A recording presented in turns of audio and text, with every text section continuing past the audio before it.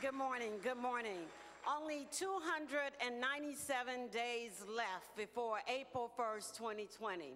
This is a moment in time that we have an opportunity to be counted. As mandated by the Constitution of the United States, we should be and must be counted.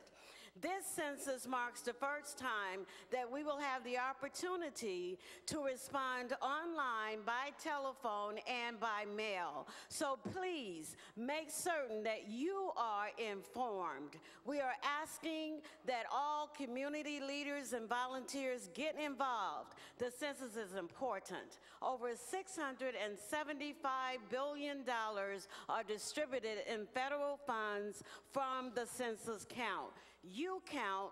We want your voice heard, and we want you to participate in the census. Now, the census actually takes place April 1st of 2020, but we are now in the process of updating our mail list, opening offices, preparing by recruiting individuals that will work both this year, in the fall of this year, and work through the next uh, year as we prepare to actually take the count.